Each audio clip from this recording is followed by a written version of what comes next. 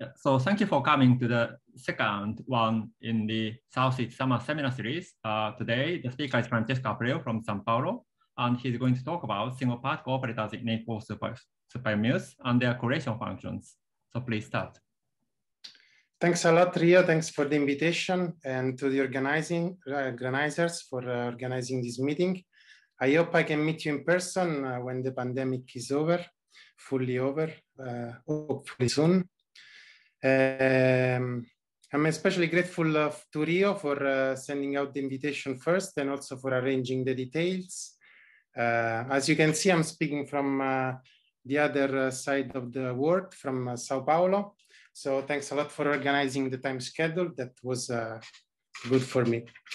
as Rio said, I'm going to talk about single particle operators in n equal 4 and their correlation function. So let me start, and this was based on a paper that uh, we put out last year with, in collaboration with James Drummond, Paul Heslop, Hynek Paul, Francesco Sanfilippo, Michele Santagata, and Alistair Stewart. Uh, Hynek, Michele, and Alistair are students of James and Paul. So let me start with some introduction and motivations, at least my motivations to study this topic. So as you might know very well, and uh, if you don't, uh, don't worry, I will set up the notation uh, right after the introduction. But n 4 uh, Yang-Mills is a most symmetric theory you can uh, uh, construct in four dimensions. And since it's uh, mostly symmetric, it has a lot of mathematical structure. And uh, we have seen this mathematical structure arising in a lot of places, uh, in scattering amplitudes, in correlators of weak coupling. not only that, part of this mathematical structure is also an integrable structure as was first understood in the uh, seminal computation of the one loop dilatation operator, which is correspondence with a spin chain. But again, not just that, uh, n equal 4 super Mills is also famously known to be dual uh, to superstrings on ADS5 times S5. And uh, this duality nowadays can be used, uh, at least I used a little bit, to study quantum gravity effects uh, in ADS spaces. And for those of you that don't know how the Maldacena duality works, let me just remind you that uh, uh, the ADS times S space um, has a as a radius L by construction, and this L is related to the 't Hooft coupling in the uh, gauge theory.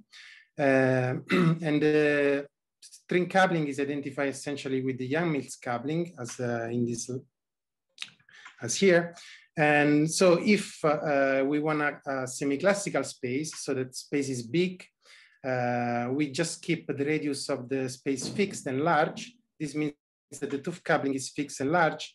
And in this corner, in this uh, limit of two strong 't Hooft coupling, we can still have a superstring theory which is weakly coupled by taking G string to zero. That then means, uh, uh, of course, that n is going to infinity if lambda is set fixed. And now using this, one can uh, um, attempt understanding the duality to study strong, uh, to study quantum gravity effect by studying uh, uh scattering of single particle operators, uh, single particle states in this supergravity approximation. So at leading order, you will get, for example, uh, geodesics picture for the scattering of this particle, and then you will get one over n correction that are uh, essentially giving you quantum gravity effects since you exchange the graviton and other multiplet in the theory. So to understand this problem, what one has to understand first is uh, how to compute the scattering amplitudes.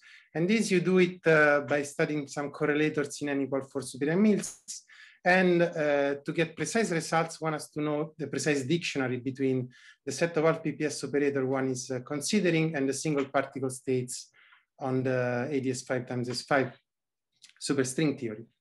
Now, it was understood from the very beginning after Maldacena conjecture that uh, in the strict n equal infinity limit, there is a one-to-one -one correspondence between the single particle uh, states, which means the KK modes on the sphere, and the single trace operators, uh, BPS single trace operators of n equal 4, which I'm denoting here by T with P.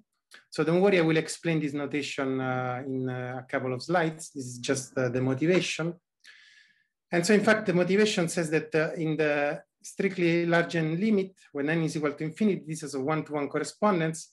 But then people realized studying, uh, for example, one over n three-point function and four-point function, that this correspondence needs to be modified and one actually on the field theory side needs to add um, admixture of uh, double traces or triple traces and so on and so forth, uh, depending on the particular single particle operator one is studying.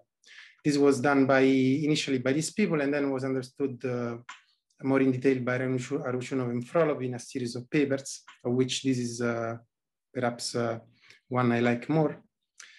And so what I will uh, try to do today will be just to bypass the supergravity computation that tells you precisely how to identify this map and uh, uh, giving you a definition of single particle operators directly in n-equal 4 Super-Yang-Mills. And after giving this definition, we will study uh, features of their correlators and point correlators.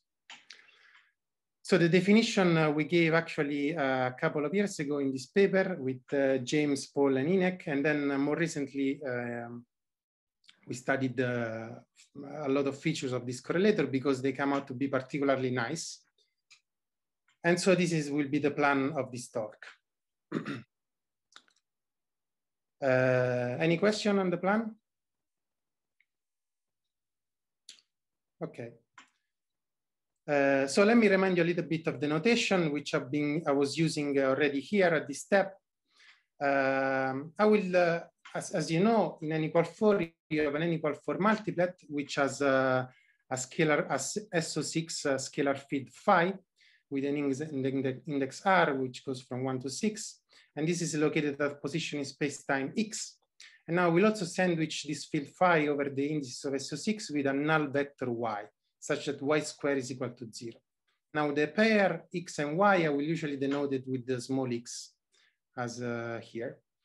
And out of this uh, field phi, which has been sandwiched with the uh, null vector y, I can take p times this field phi, which is a matrix in the adjoint of uh, SUN or UN, depending on the gauge group uh, I will uh, be using for n equal four. And uh, um, taking p times, multiplying p times this field and taking the trace defines for me the trace basis with the label or charge p since P is the times I've multiplied the matrix. Now, given this uh, uh, basic uh, trace, single trace operator, I can construct a product of traces. And this more generally give me a basis uh, for uh, multi-trace operators. And now sometimes I will uh, use a compact notation to denote a sequence of P1, P2, PM using P with an underline. Essentially, this means that I will consider a partition of P. Specifically here, P1, P2, P, up, up to PM. Now, uh, in the free theory, we take uh, Wick, Wick contraction on the elementary fields. So these are uh, the field phi here. And uh, so the two-point function is given by some propagator structure, uh, which carry, which uh, takes care of the y vectors and the x vectors, so space-time and internal space-time, so SO6 and Minkowski. Uh, and this goes together, of course, as you might know very well, with the UN uh, or SUN propagators. The difference between the two is just subtracting the traces here. So, um, in fact, oh, again, this problem. Sorry, sometimes I need to do this. Um,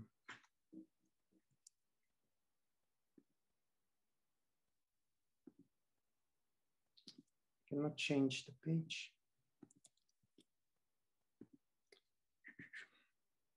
Okay. So some sorry for this uh, interruption.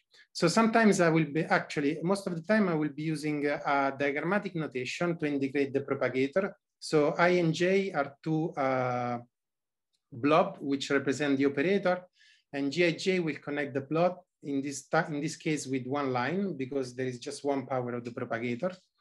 And uh, it's important to remember, and uh, it will be important also later on, that self-contraction here are not allowed. And this is also true not just in the free theory, but also in the interacting theory, because uh, essentially, when you have a, um, sorry, when you have a self-contraction, you are uh, essentially contracting uh, um, yeah, the, the, the null vector y with itself, and since it's null, by definition, is gonna give you zero. So all the correlators that you can think of, essentially they take the form of being some propagator structure represented diagrammatically. And together with the propagator structure, you will get here in the free theory a color factor, or if you are in the interacting theory, you will get some function of the cross ratios depending on the correlator you're studying. Um, and this will be uh, mostly the type of notation I will be using uh, in, the, in the talk. So here in particular, I'm considering a, a trace phi squared, trace phi squared, trace phi to the fourth, trace phi to the fourth, and you're gonna re um, realize that you have a, a charge two, two, four, and four because out of the blob you have two legs or you have four legs, as in this case. So, uh, um, so let me start uh, with a little bit more of uh, content apart from the notation. Now, the trace basis is good, and um, but it's actually degenerate. So even, for example, the first case, trace uh, phi to the fourth, you can have uh, for finite n, you can have an equally good uh, half BPS operator, which is just trace phi squared, trace phi squared. And since you are not in the large n limit, that's an equally good operator. And moreover, uh, with finite n, you have trace relation whenever the charge is greater than uh, n. Now, these are features of the trace basis that uh, you need to live uh, with if you want to use it. And they are okay, uh, sometimes get uh, more complicated, sometimes are simpler. But the point I want to make is that the gravity picture is actually a little bit nicer than this trace basis. And the point is that the KK modes, they come with a notion of orthogonality simply because uh, you get them by uh, doing uh, uh an a spherical harmonic decomposition on the sphere. And moreover, the KK modes have um, understand that uh, you cannot exceed n, even if you are in the large n limit, because uh, of the exclusion principle in ADS 5 times S5 and more generally in ADS times S, which was first understood by these gentlemen here. And it's just saying that uh, if you have a graviton with a charge P and you want to spin it a lot, so taking P very large, what will happen is that uh, uh, the single particle uh, state will pop into a D3 brane state.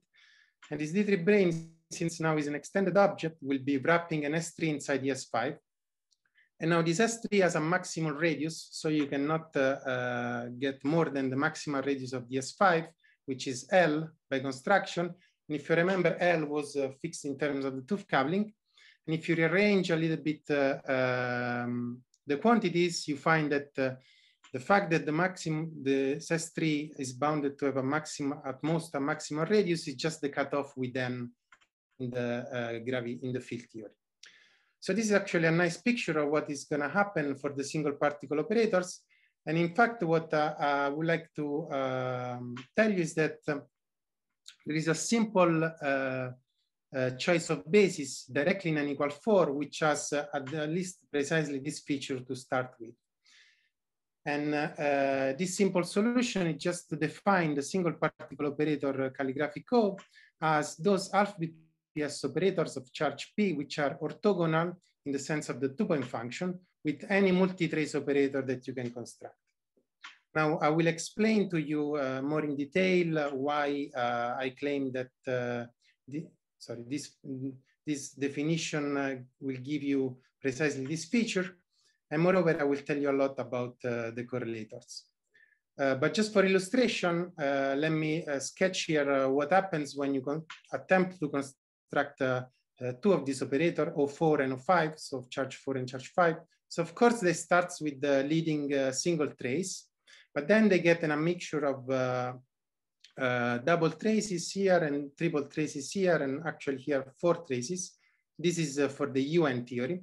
And of course, when you take the large n limit of each, uh, which uh, component here, that agrees uh, with the gravity computation for the subleading correction whenever they are available. And here I'm citing this paper by Ruchunov, which is perhaps the most recent on the topic. Also, let me point out that orthogonality of uh, single particle operators in the field theory is something that was appreciated also in other occasions. For example, in ADS3 times S3, in which one has to be worried about orthogonality already in the planar limit, because here the field theory works differently from uh, uh, n equal four. And this was worked out beautifully by Marika Taylor in this other paper here. Uh, one question. So uh, this was my introduction. Uh, so I hope at least I convince you that uh, there is something to study. Uh, may I have one a question? question? Yes. Um, so can you go back to this uh, one part, yes, this slide? And so while constructing this operator, you are assuming that you on, only use scalars, right? Yes, so I'm uh, studying uh, uh, half BPS operator in n equal four, which are made up, made up, made uh, up in this form. So the symmetric traceless representation. Okay, so this all is only made of these guys, okay. Yes, And, uh, yes. I'm not allowed to use fermions or other, other things. Right. So in the in the same half BPS multiplet, uh, uh, which has this as lowest component, you will have also fermions at the next levels. But this is the bottom or the highest, depending on your conventions Okay, thanks. in the multiplet. Yeah. So these are half BPS multiplet. Uh, I have a, one question. Uh, can you Yes, sure. explain more about the nice property of the gravity theory? Um, what, what do you mean by Yes. why gravity is nicer? So here by nicer, I was trying to explain that I, I meant specifically the fact that these KK modes come up with some notion of orthogonality, which you don't have in the trace basis to start with. Well, for instance, if TP and TQ, if P is not equal to Q, they are orthogonal. But if P is equal to P1 plus P2, you are saying that uh, they are orthogonal in the gravity side? Uh, so in the gravity side, you don't have access directly to uh, multi-trace operators as you would do in the n equal four uh, uh, field theory. So in the gravity side, you just have access to a bunch of fields, which comes from uh, the, from doing spherical uh, harmonics on the sphere. And these are the fields you will be studying in the action, since uh, leading order, that's a semi-classical computation. And, and, these are the fields you live with in the gravity side. Now you ask yourself, uh, what's this field corresponding the n equal four super Mills? And uh, to leading order, since these are protected operators, uh, that's just a one-to-one -one correspondence between this field phi here, the KK modes, and the single trace TP. But then actually it becomes more complicated. For example, people studied three-point functions and uh, got into the problem that extremal three-point function of single trace operator were not matching extremal three-point function of uh, KK modes. Also, in some four-point functions, you, you don't get uh, some uh, propagator structure. I will show you precise example, but for example, when you do this for phi's, for, you don't get some propagator structure and you ask why. And uh, the way to go in the super in supergravity is just to uh, correct this map. So you you uh, you correct this map doing computation in supergravity, assuming that there is a mixture of stuff such that uh, you change your basis. That's allowed, right? Because uh, T1, T1, TP1 times TP2 is a, an equally good half BPS operator if P1 plus P2 is equal to P. Now here what I'm saying is that uh, you will, um, you can bypass this supergravity computation just by taking uh, as a, a, definition this in the n equal four super Yang-Mills. Mm, it, it, but it, I will I will make a lot of more example and I will explain uh, I, actually how also this comes about, which might be an interesting point. Uh, so yeah, but but for instance, uh, why you can't change the gravity side and keep the gauge theory side as it is? For example. So yes, you can. Uh, in some cases, uh, yes, good. So in the gravity side, um, the simplest thing that you will do would be to uh, consider uh, interactions coming from bulk vertices. That's uh, since you're doing a, a perturbative expansion around uh, some semi-classical theory, which has a classical action. This is what you would do uh, at first. And now, uh, as I was saying, for example, these people here computed three-point functions, which corresponds to uh, three-point bulk vertices. And uh, so this comes uh, weighted by, uh, since you're taking three KK modes, they come with a, a scalar product of three harmonics on the sphere. Uh, and this vanishes for extremal coupling, for example. Now, this is not the case for TP. So on the gravity side, you would change to the TP basis by changing scheme and adding some boundary terms. This becomes rather complicated uh, in practice to do. And uh, so you can, if since this is a choice of basis and there is not a unique uh, pickup of basis, you can also do this. And for example, this uh, is what uh, these people advocated in a number of occasions. But uh, suppose I want to compute a five-point function in the, in the gravity side.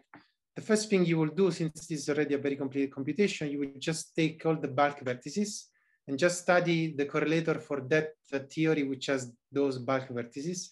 And this is not the theory for single traces, but for a single particle operator.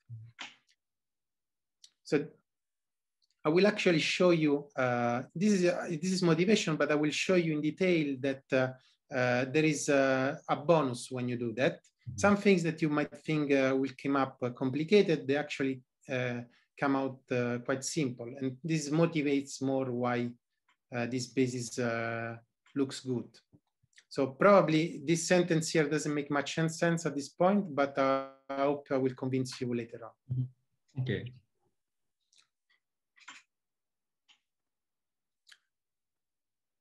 So let me get back to the plan then. So what I will uh, do uh, in this talk will be, I will give you three ways of writing the single particle operator depending on the base of reference you choose, either the trace basis, the Schur basis, or the eigenvalue basis.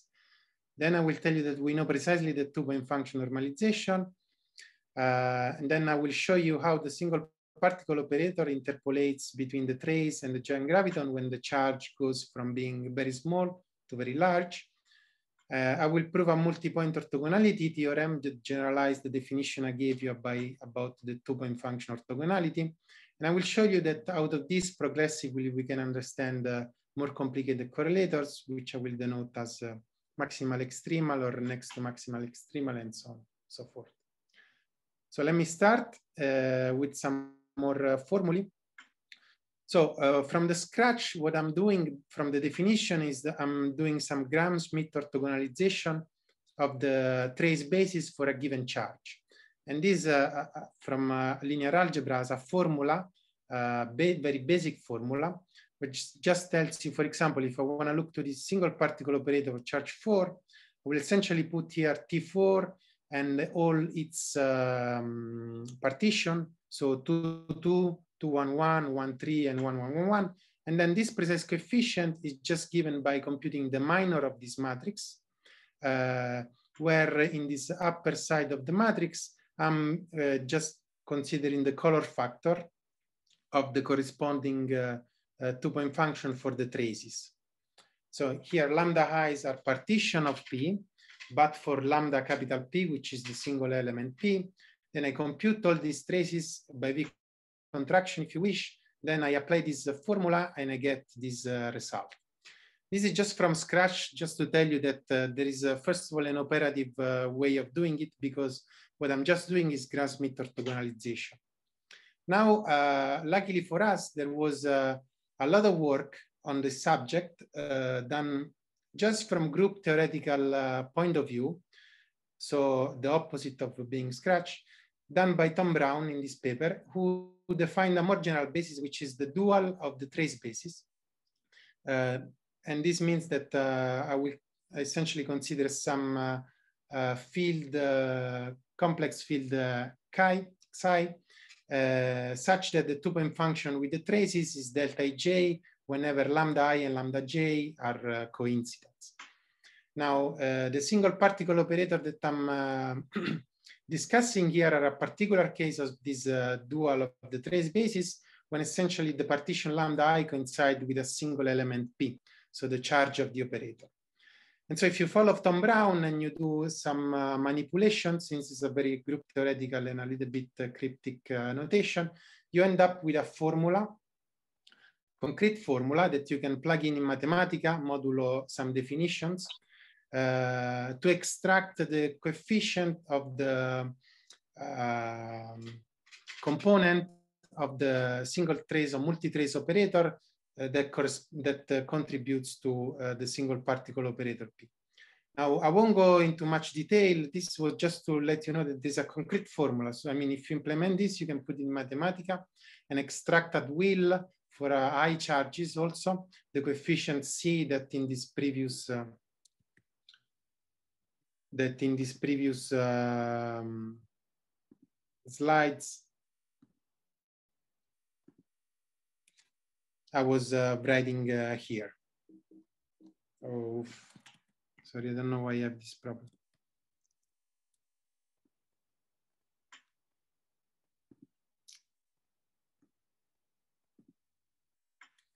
Okay, so uh, yes, I was writing here. So these coefficients are equivalent uh, computed by a group theoretical formula that I'm uh, putting in this box here. I won't go into much detail because it's gonna take me a little bit, but uh, that was just to say that there is a concrete formula you can put in Mathematica. And when you have this concrete formula, you can actually play a little bit and, for example, change basis. Why not considering the Schur basis of the eigenvalue basis instead of this? And in fact, when you do that, for example, the Schur basis here, chi, for a Young diagram which has this uh, hook shape with one row and one column, uh, you find that the coefficients uh, out of which uh, you construct the single particle operator they are uh, nice in the sense that uh, they just correspond to some Pochhammer, so gamma functions, and they are simple function of uh, n and k, which is the label of the uh, Schur operator that contributes to the single particle, and p, which is the overall charge. So for example, if you want to compare uh, some of them, here for illustration, I'm considering O3 in the UN theory, and you see that uh, for each line, you get a corresponding line in the basis uh, you wish. I will come back to the Schur basis when I will discuss the limit to the giant graviton, and this is why I'm illustrating it here. But as you can see, the formulae are not uh, nothing transcendental. It's everything is simple. So in fact, uh, I was a little bit uh, sloppy in my previous not in my previous uh, slides because I, I, never specified really whether I was talking about UN or SUN theory. Uh, and the point is that uh, there is an orthogonal projection from UN to the SUN theory. And as a matter of fact, the single particle operator is the same. So I don't really have to worry about whether I'm studying UN or SUN. Uh, this said, notice that in the UN theory, you will be you will be doing a computation in which the two-point function goes with the UN propagator, and you also have trace phi as an elementary field, as a, a trace field. In SUN, instead, you will be doing a computation with the SUN propagator, and trace phi is equal to zero by construction. Now, the point is that uh, since you have an orthogonal projection, and suppose you know the SUN operator, which in this case, or VO3, would be just given by this guy because there is no space for having a, a non-trivial partition of three uh, without the one. So you will be taking T3 and uh, just substituting uh, the, the traceless field phi hat by uh, its definition in terms of the uh, traceful phi field, then you, you get the UN operator.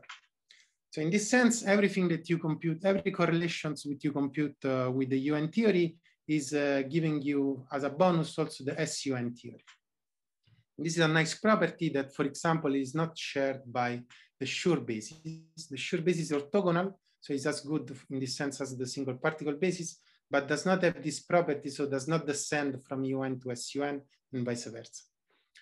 And from uh, Tom Brown construction, you actually get for free also the two-point function normalization, which is uh, comes as a piece, um, in, in, essentially comes as a piece in this previous C that I didn't explain.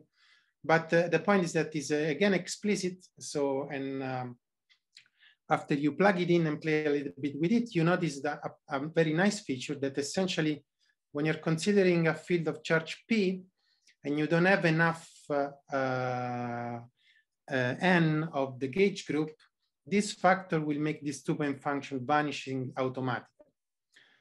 And the point is, is, simple to understand. The point is that uh, whenever P is strictly greater than N, all operators are multi-trace. And so in this sector of charge P is strictly greater than N, everything is multi-trace, and then the single particle operator cannot exist by construction. Uh, now that we have uh, these two properties, let's go into a more uh, uh, detailed study of how the single particle operator behave as I change the charge P. Now, if P is small, uh, what happens uh, is that the single particle operator coincide with the single trace, and then it gets a one over n correction in terms of double traces, multi-traces. This is essentially as in this picture here. So we'll get T3 and then correction by multi-traces. But uh, the single particle operator is very different from the single trace operator when the charge P is uh, big. And the, the key point is this, is this, this orthogonality. Orthogonality tells you that uh, the single particle operator cannot be as the trace when P is large, because for example of this feature here, the two-point function of the traces will not be zero, instead the one of the single particle will be zero whenever P exceed n. So when P is of order n, you expect uh, the operator to be uh, different from the single trace.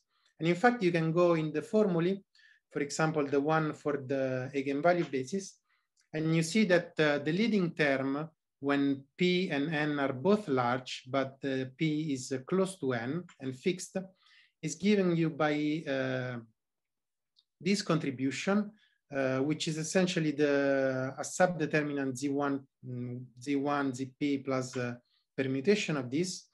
And this you recognize as the Schur, the Schur operator with the, this particular, um, with the Young diagram in which you just have uh, a single uh, column. Remember here, the notation for the Young diagram is that uh, one column cites k and the other row of sites p minus k. So if both label are equal, are equal, there is no row and you just have one column.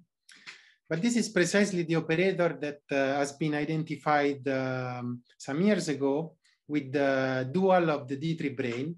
So remember, as I was telling you in the introduction, uh, on the gravity side, you expect that when the graviton has a large uh, spins a lot, it pops into an extended object, which you can identify it with a D3 brane. And uh, these uh, subdeterminant operators were the one that were identified with these D3 brane operators. And precisely the, the, the observation at that time was that uh, the, in this Schur basis, precisely this has the same vanishing properties because uh, if P is over the n, you cannot have a, a column length bigger than n, so it truncates. And the truncation is, is, is, is the same as the single particle operator here. So we see that the single particle operator, when P is uh, much smaller than N, is like the single trace, and when uh, uh, P is uh, close to N, it becomes a D3 brane. But here, remember that uh, you always need to take N to be large to start with, to play this game. And in fact, uh, later on, I will, uh, when we study three-point function, I will uh, tell you how the three-point function of, for example, 2D3 brane operator and a single particle behaved in uh, different situations. Now, let me come uh, to a generalization of the uh, two-point function orthogonality that define the single particle operator. So let me open up the subject of multi-point orthogonality. So are there any questions on this uh, previous part that I was telling you about?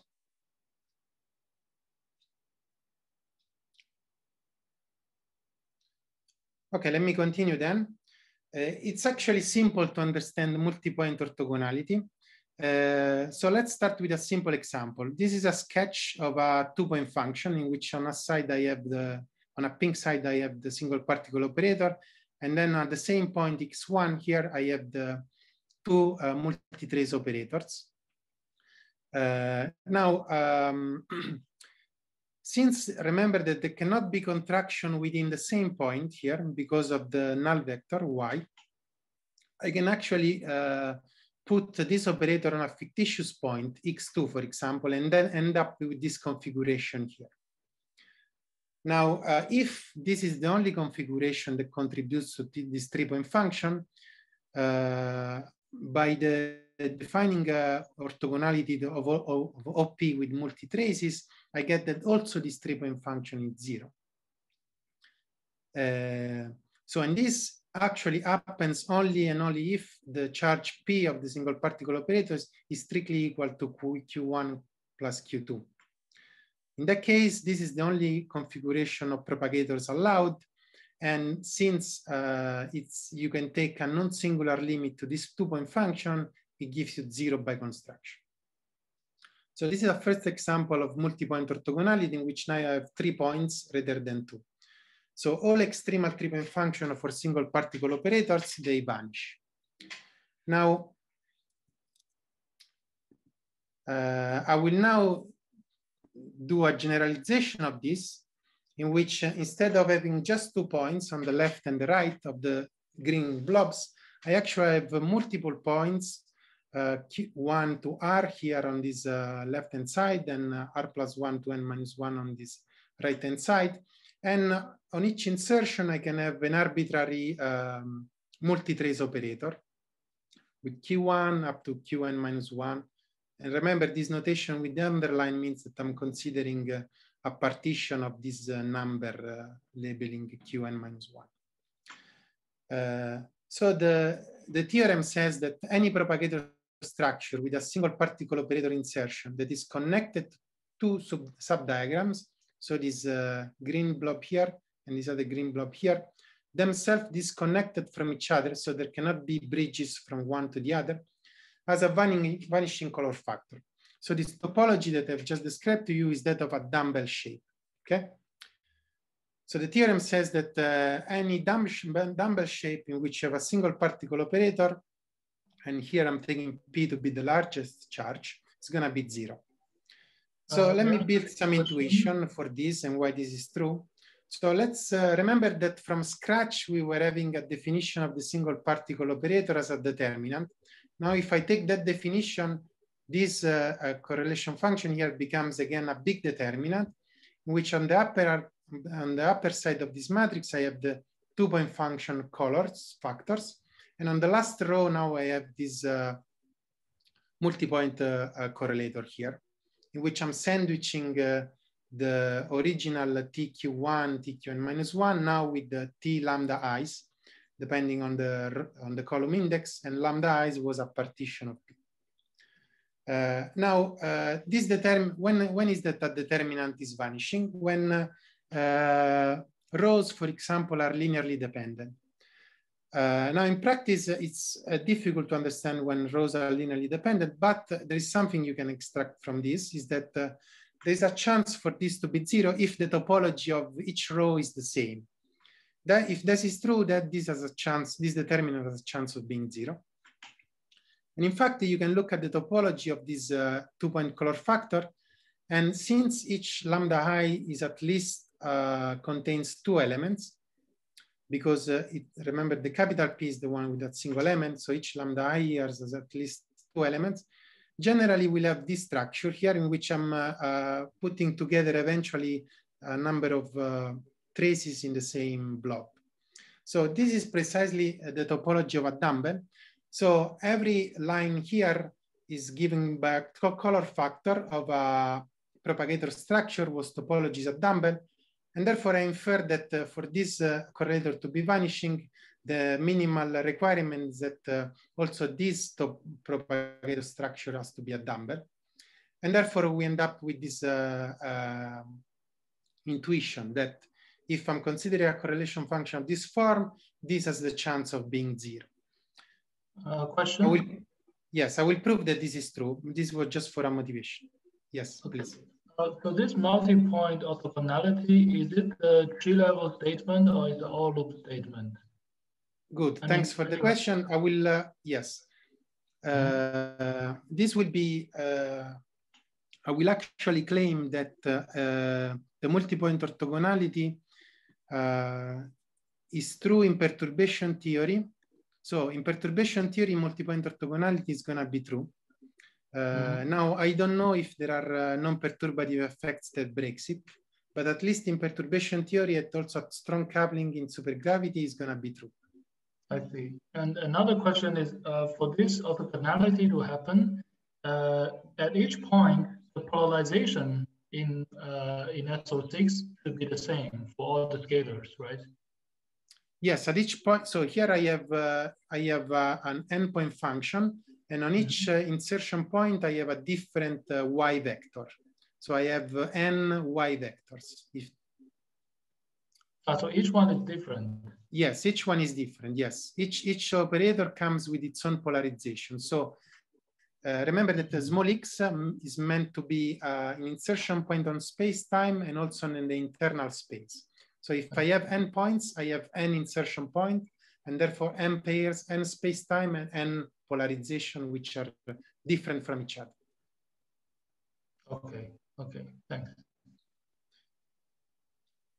So thanks for the questions. Um, related to this comment that uh, uh, has been uh, made, in fact, let me say that there is something different from the two-point function. Here I've just taken this uh, as um, some kind of uh, uh, intuition. So here for a multi-point, I can have uh, actually one parameter, uh, which is uh, the parameter that tells me that the, the charge P central is not a partition of the sum of, so the other charge QIs are not a partition of P, but there be there can be an excess, meaning that uh, I can have propagators going from one point to the other in the same blob, but I cannot have propagators going from uh, the two blobs together.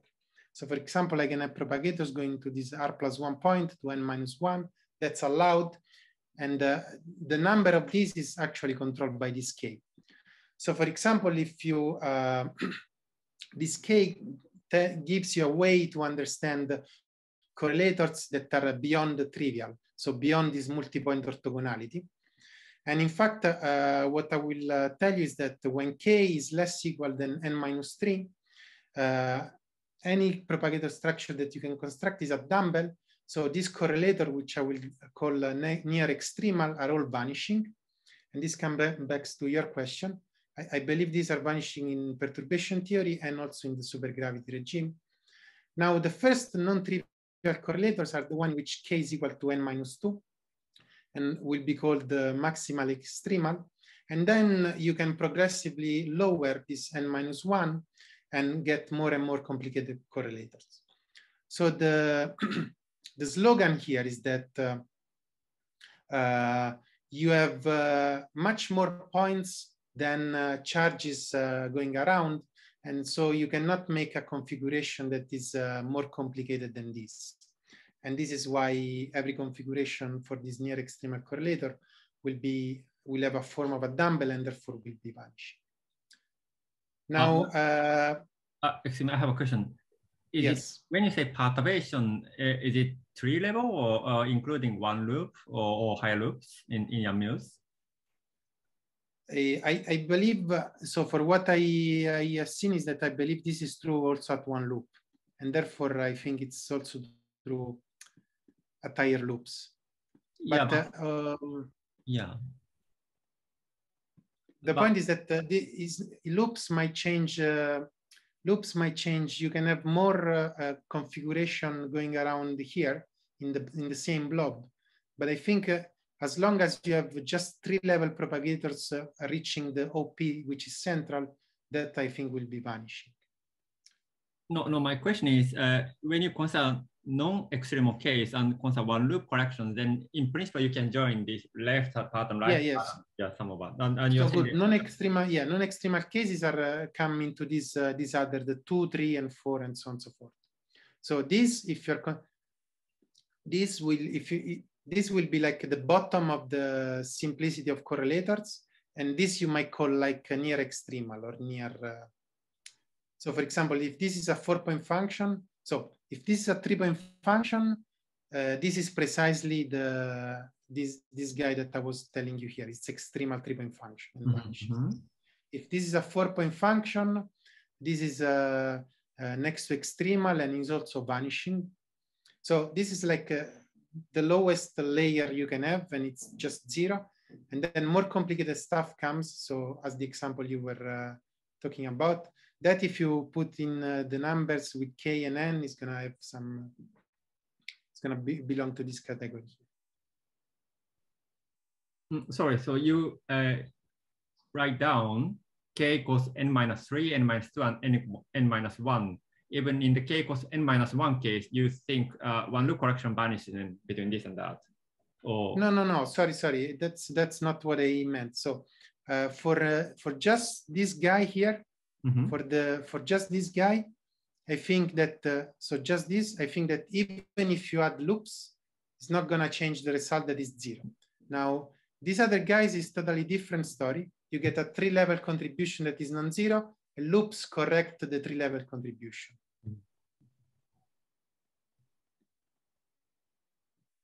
Is that clear now? Probably I was not uh, clear. Yeah, it, it's okay. It's okay. okay. So maybe I'm running short of time. I will um, I will skip the proof of the multi-point orthogonality. The idea, just to let, let me tell you the idea.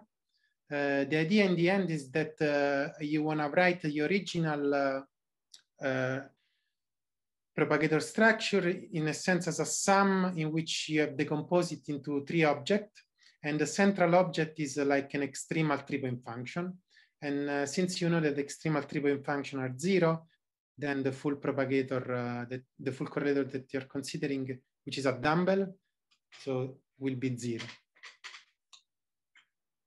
Uh, so let me come in the last 10 minutes to the applications of this uh, multi-point orthogonality and uh, to actually see more concretely some, uh, at least in free theory or when the correlators are protected at any coupling, correlators of the single particle operators.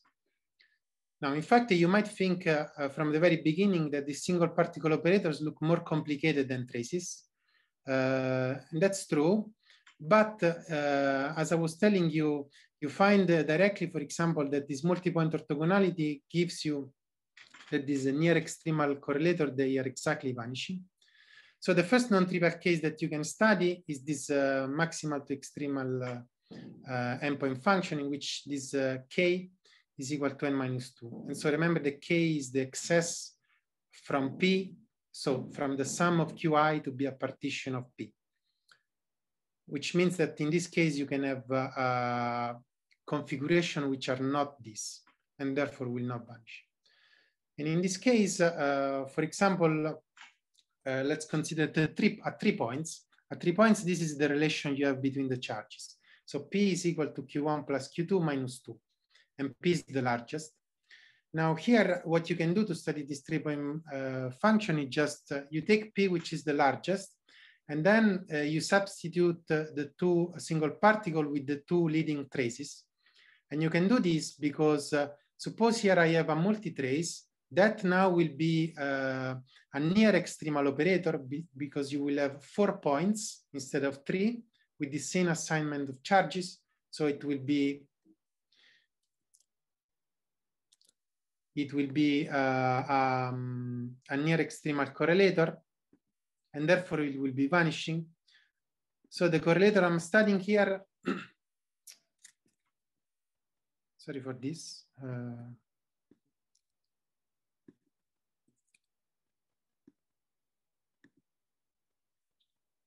yes, the correlator you will be studying is the same as this one in which you have uh, a single particle and then two traces. And now here, since you have this minus two here, you have a Wick contraction between these two traces. And you can uh, picture yourself in your mind with double line notation that whenever you do this, you're essentially gluing this Q1 and Q2 into a, a single trace TP with the same charge as the single particle times a number of Wick contraction you can all possible ways you can glue this line between these two operators here. You can picture this in double line notation. And when you are thinking about the double line notation, essentially the 2.61 x2 are kind of gone and you can substitute the two with a fictitious point y. Or uh, and also a nice way to think about this is like uh, taking the OPE or two elementary fields phi inside. And that's uh, a leading order is the identity. And I'm gonna give you the gluing, so to, to TP. And the other uh, multiple phis in the OPE will just give you again uh, a near extremal correlator that don't contribute. So in the end, the three-point function for uh, this configuration of charges is simply given by Q1 times Q2 times the normalization of the single particle operator. Uh, this logic actually um, will generalize uh, to n-point correlator, but before coming to that, let me uh, do a quick application of this formula here. So for example, since this is an exact and this is a, a protected three-point function, I can study the same in the case in which I have uh, the two charges, P and Q to be large and one uh, capital Q to be small. So I've changed a little bit notation, so let me be more precise. Here I'm considering uh, P minus Q and P and Q are large, uh, but uh, their difference is fixed and is given by capital Q minus 2. so this is a, so therefore I have two very large operators and then the single particle operator, I know that in this limit, since P is large, it becomes a D3 brane. So here I kind of have in the limit two D3 brane and a small single particle operator. Now by applying the formula, I just get uh, uh, Q times capital Q and then the normalization of uh, uh, OP, which I've taken to be uh, preferred. Uh, sorry, question. Yes, sure. Uh, you might mention it, but I missed. What is the Y? So sorry, why here was a fictitious point I was using uh, when I was doing this construction. So you start with three points, but then when you've done, for example, the OP of these two, uh, I will be taking the OP, so I will relabeling x1, for example, I'm taking the limit x2 going to x1, and I'm relabeling that to be y.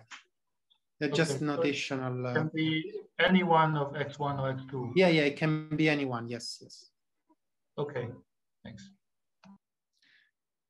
Sorry for that. As, as a more schematic notation, it just be just the normalization. This in the end is a, the color factor because the, the space-time structure of this three-point function is fixed by conformal symmetry. I'm being a little bit sloppy on that. I apologize. Uh, so I was saying that I have two D3 branes operator and a single particle here. And so what I just need to have to look at is uh, what happens with this normalization. So when I normalize the three-point function with the respective two-point functions, I go back to the to the very beginning uh, previous formula here that I had. Uh, where it is? Yes, this one here. Uh, so this is just some gamma functions in the end. So I just studied the asymptotic of the gamma functions for these cases. And uh, so the two-point function of the guy that doesn't scale uh, in this limit, so capi uh, capital Q, just gonna be by Q times N to the Q. Instead, these two guys, which are scaling uh, as much as N is scaling, but the ratio is fixed, there's gonna scale differently. And so you get some exponential and some n to the n. But remember that the difference p minus q, which comes because I'm taking this ratio, is again fixed. So in the end, the, the final result here is uh, finite because uh, the ratio I'm taking fixed. And the final result is, is given by this, this formula here, which will appear also later on. And this formula agrees uh, with the known uh, supergravity computations uh, done in the past, in which you're taking the Wess-Zumino action to compute this, uh, this correlator here. And more recently, with a paper by uh, by this guy here, which I will uh, come back to in a few slides. So we were a lot happy with this formula, with this computation here. And uh, this shows you a concrete uh, application of the formula I've been giving you uh, previously. So what happens when you take more than three points? When you take more than three points, the idea is, is again the same in a sense. When you remove, remove the single particle operator out of this correlator, you're just left with the uh, number of propagators such that you can construct a tree out of uh, Q1, Qn minus one. And then this tree will come with, so you have a number of trees and these trees will come with their propagator structure and they will be weighted by the number of Wick contraction that can be associated to it. So rather than doing some abstract uh, thing, let me show you a concrete example. So uh, I showed you at the very beginning uh, this correlation function in which I have uh, trace phi to the 4, phi to the 4, phi squared, phi squared. And now this was the result. Now what happens when I do it for the uh, single particle is that these propagators that are dumbbell, as we know, they vanish. So in the actual computation, they will not contribute now. So you will have a single disconnected contribution, now three connected uh, contribution. And in each case, as you can see here, uh, the color factor is uh, a lot nicer than the one for the traces and is fully factorized. And it has a number that in each case you can understand with this formulae, which are precise the ones that come from, if you wish, from the general theory. So they're simply counting the Wick contraction you can associate to the trees. So the trees here are, are uh, uh, depicted in this uh, brown color. And the single particle is this guy here at uh, position Y. So if you remove that, and therefore if you remove also the connection to the other guys, you're left with a tree, which in this case consists just of two leaves. This guy, this guy here, or this guy here. And the only thing that changes is uh, the overall uh, uh, number, which counts the Wick contraction because the n-dependent color factor is simply the normalization of this O4 with itself. So in the end, uh, maximal uh, extremal n-point correlator, they always have the form of a color factor given by the, the two point of the single particle, and then some tree structure that you can always recognize and given in general. Now, uh, let's come to more applications. The next uh, more complicated correlators are the uh, next to maximal extremal. In this case, now we have k, which is equal to n minus 1, previously was k equal to n minus 2. So now for three points, for example, I have this arrangement. Little p is equal to little q plus capital Q minus 4. And previously, this was a minus 2. Now, if I uh, look for again at this uh, three-point function, what I can do again with the same reasoning as before is try to replace two of these uh, uh single particle with the single traces. But when I do that, I get I get the, like now a leading contribution with the traces, which is computable. But now I don't get a vanishing correlator. Uh, now I get the previous case. So the previous case uh, is uh, that of maximal extremal is non-vanishing, and it's, it can be computed with the formula I gave you before. So the only object uh, uh which is not computed here explicitly from previous formula is this uh, three-point function which a single particle and two traces. But I can actually compute it, uh, uh, if you wish, from scratch. Uh, and the result here, I'm flashing it in this boxed formula. So this is uh, what happens uh, for the second line here, and it boils down to use the previous formula. This factor C is the guy that uh, tells me that this particular uh, multiparticle is, is contributing to this uh, OQ, and therefore is a known formula. Uh, so everything is known here. So for example, I can do, again, the exercise of considering two large operator, D3 branes, so P to be large, Q to be large, with the capital Q to be uh, fixed.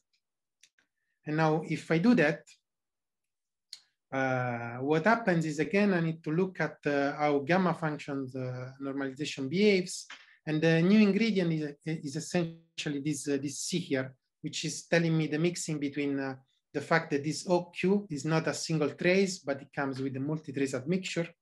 But the only thing that matters here is, is the double trace admixture here. Because if I, if I will have a triple trace admixture, that would be like uh, uh, a correlator with uh, too many points and too few propagators, so it will be again near extremal and vanishing. So the logic here is that I start from this and I have been, uh, uh, I, am next to maximal.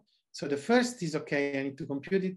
The second line, it's like the previous case, only if I have double traces. If I have triple traces, like uh, uh, the previous to the previous case, so it will be vanishing. So there is a sort of recursive structure when you consider this uh, multi-particle correlator. So in the end, let me just plug in all formula, uh, give you here the result. So you get the same factor as uh, in the previous case, with now the exponent with a change. And now the new ingredient comes here. And uh, quite beautifully, these people here, Yang, Jiang, Komatsu, and Wu, so the Shota group in, at they managed, they actually, by an independent computation, we didn't use a single particle to start with, uh, managed to reproduce this formula in actually two ways. Uh, from uh, free theory, let's say, and also with a much nicer uh, gravity computation. So we were very happy when we look at that paper uh, for this precise reason. Uh, so for n-point uh, for, for n-points of um, next to maximal extremal correlator, the logic is going to be the same. So you substitute a little bit the traces, and then what happens is that you can write it uh, as a sum of a combination of maximal extremal correlators. So I will not bother you with this uh, formula, which gets a little bit longer. But again, the main point is that everything is known in this formulae when you work them out. So for example, you could also consider a four point function of that sort, or even five point function if you wish. Um, so what about uh, going uh, again beyond these cases? So things gets obviously more complicated, but let me make uh, uh some simple observation. So if I just go from scratch and I compute, for example, a three point uh, function, which is uh, next to next to maximal extremal.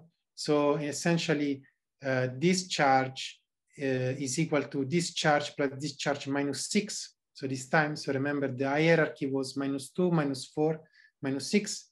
So O6, T6, T6 is one of these uh, correlator. Uh, the traces uh, will get, we start looking a lot complicated and that's uh, life in a sense, just Wick contraction. Many, you just need to count if you wish.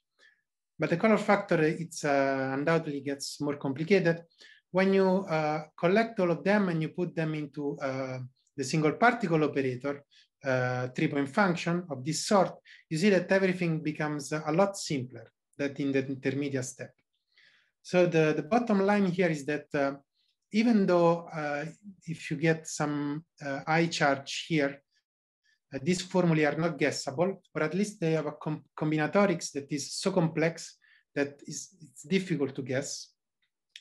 The final formula for the single particle is much simpler and guessable. So for example, for a, a bunch of these guys in the, in the paper, we have a, a guessable formula in which you simply have some Pochhammer of the charges here leading these uh, coefficients. Uh, and so you, you, can uh, actually do the experiment yourself and look and see uh, and how complicated then gets this for like nine. If you get uh, higher charge nine, this is crazily complicated, but the final form here, even with nine and uh, a corresponding single trace operator is, is of the same complexity. So something is happened that is nice and I, I like. Uh, but then, of course, you can uh, pick the basis you want in this business. Mm. As, as long as you, have a, a, change of basis, which is uh, doable, it's going to be the same. The, the, the slogan here is that, uh, as I was saying, even though the intermediate step are not guessable, the final form looks to us that is guessable and therefore worth studying. So this was uh, my survey um, of the um, of the single particle uh, correlators. Uh, we didn't attempt to study like four point in this fashion uh, because of course uh, um, we at most we didn't have much motivation to do that. Three point function was were, were explicative enough. So let me uh, conclude with a summary and some speculation. So what I hope I showed you in this talk is that we have uh, explicit, explicit ways to compute these single particle operators. Uh, we know that two-point function normalization from group theory. And that's nice because it precisely vanishes when you cannot construct the single particle operator. So in this sense, it's analytic in the charge and the rank of the gauge group. The single particle operator also the same in UN and SUN. That's also a nice feature.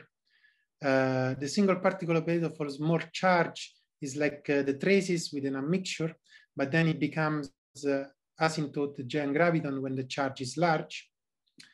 Uh, where by giant graviton here, I, I just mean the, the Schur operator with the Young diagram, which is uh, one column. Then uh, the two-point function orthogonality uplift to a multi-point orthogonality theorem, which is uh, useful uh, and tells us that uh, some correlator in which you have uh, too many points and too few propagators that I uh, denoted near extremal, they exactly vanish. And let me mention something interesting about this multi-point orthogonality. on the gravity side, this was related to the fact that the ADS5 times S5 uh, truncation uh, needs to be a consistent truncation to the gravity multiplet. And, and therefore means that if you're considering a gravity multiplet, so an O2 field with some random uh, list of uh, KK modes uh, uh, correlator, that has to be zero. Otherwise, in the equation of motion here, you will find some non-trivial coupling between the graviton and some higher KK modes. And it was shown in this nice paper by D'Hoker, and Freedman of some time ago that all these correlators are actually near extremal and therefore vanishing. And this provide more evidence that uh, there is a consistent truncation of ADS5 times S5 to just the graviton multiplet.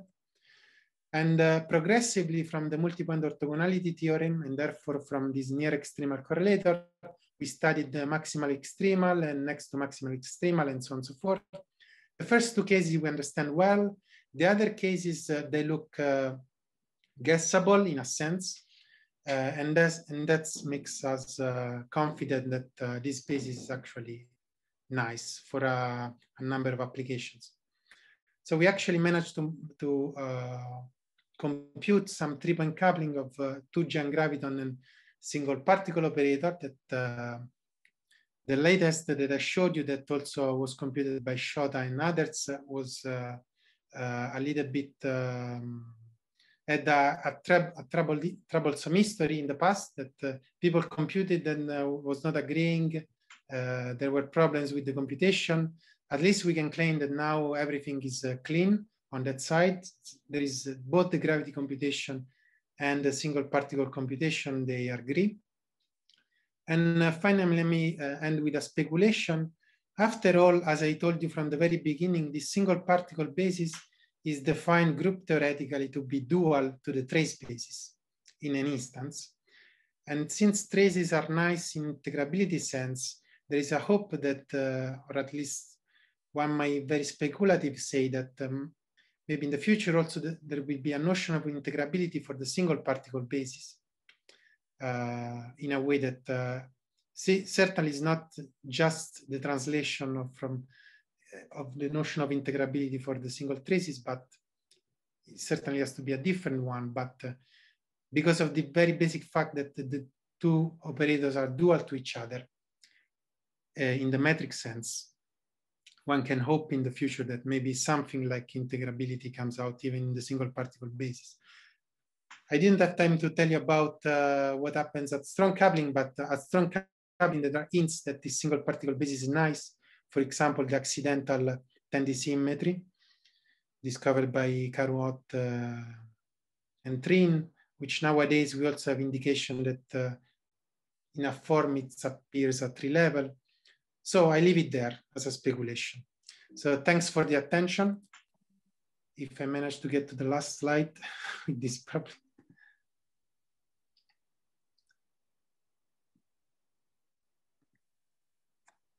Thanks for the attention and for inviting me to give this talk.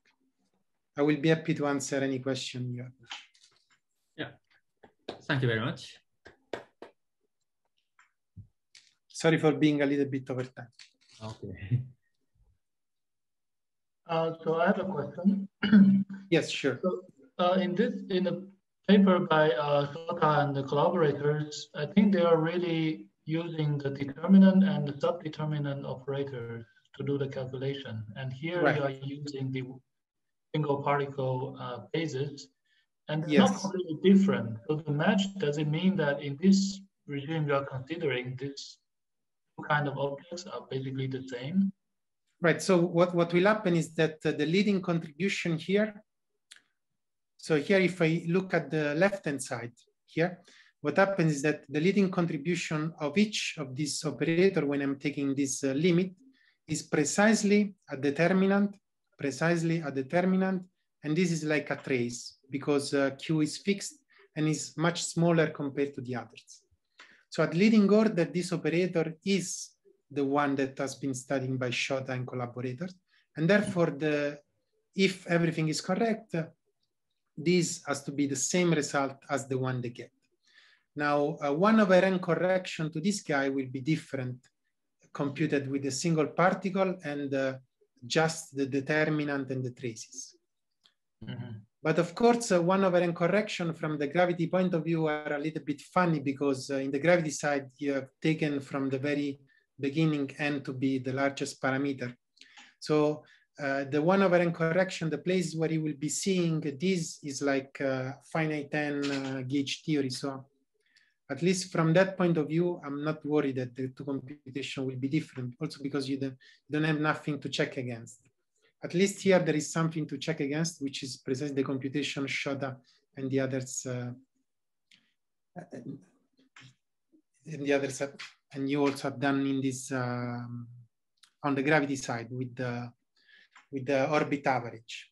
That's very nice computation, which is supposed to be the gravity dual of this uh, computation, which have uh, not this, but you have a determinant, a determinant, and a trace, which is the same as this in the limit we're considering. And therefore, it's nice that uh, the free theory computation match with the gravity dual. It will be different at one if you add here one over n correction. This, this is a different operator, and therefore it will be different. Mhm. And in this case, um, can you, for example, replace this OQ by some non-BPS operators? But if you search for, say, integrable structures, that's the, the thing you want to try. Right, precisely. This is a nice thing that uh, um, at the moment, uh, the only way uh,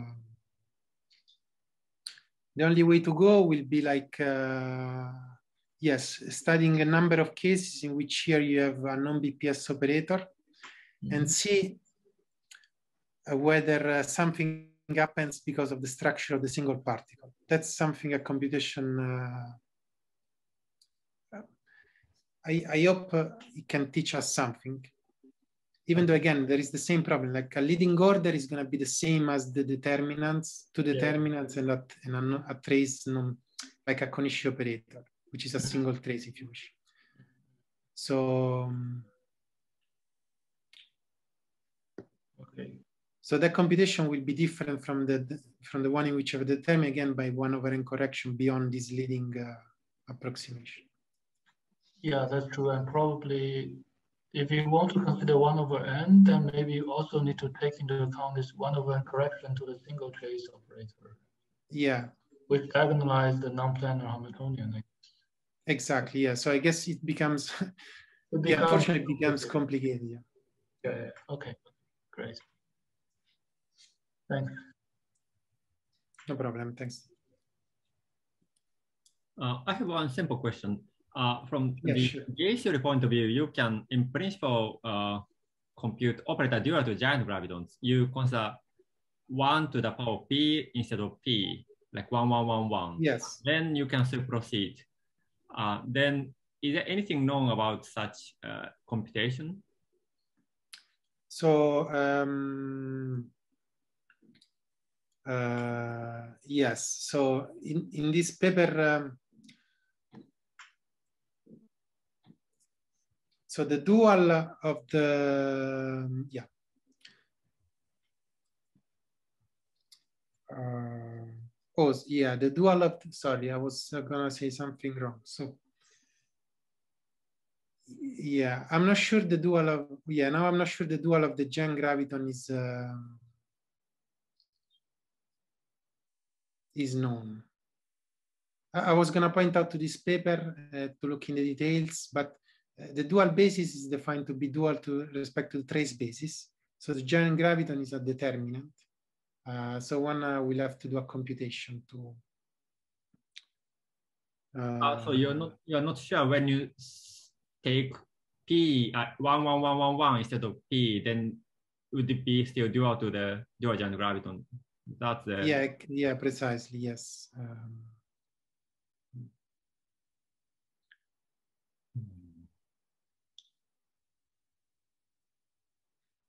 yeah, I, I, think the study of the giant graviton is, I think, very well uh, self-contained in the sense that uh, you understand this D3 brane as a Schur operator with one column, uh, at least the internal one.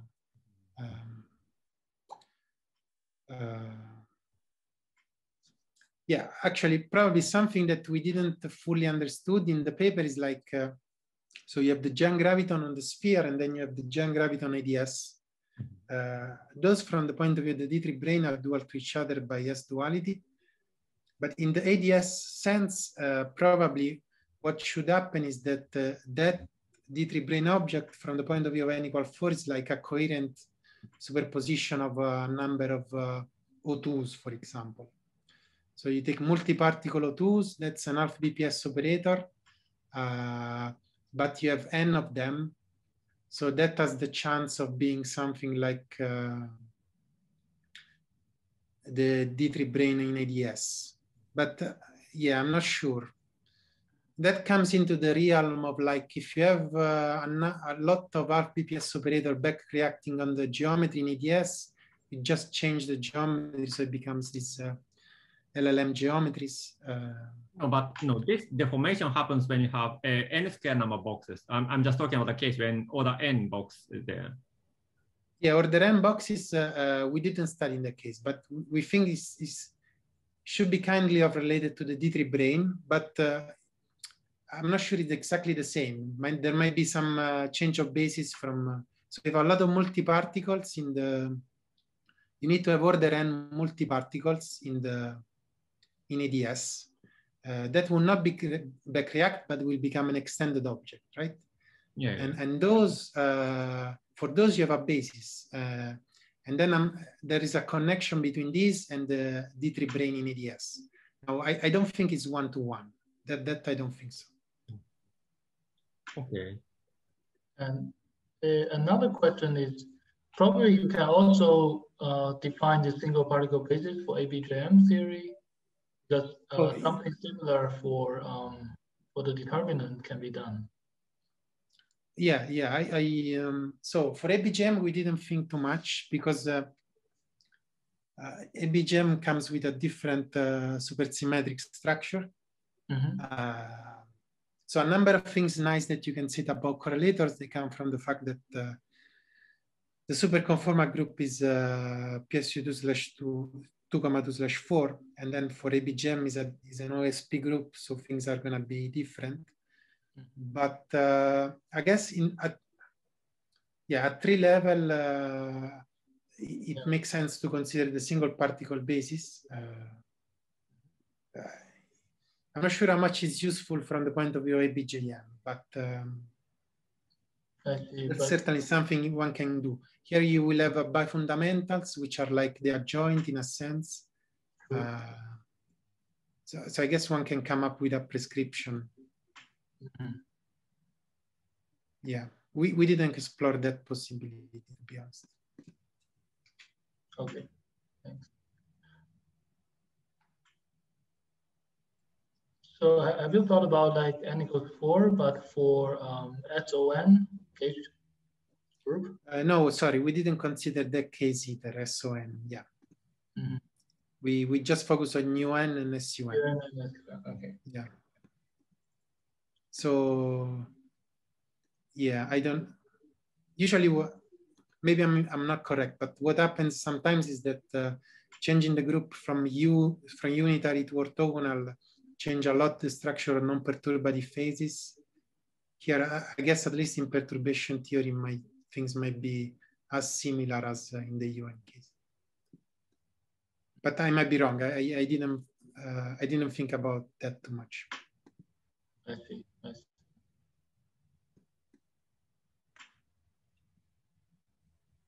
Okay, no more questions left. Uh, then let's uh, thank the speaker again. Uh, thanks to you. Yeah. Thanks for inviting me and uh, very nice uh, interaction. And thanks for the questions. Uh, that has been great. I hope to see you in person uh, when the pandemic is over. Great. Thank you for the clear talk. Uh, thanks to you. Thanks. Thanks a lot. Bye.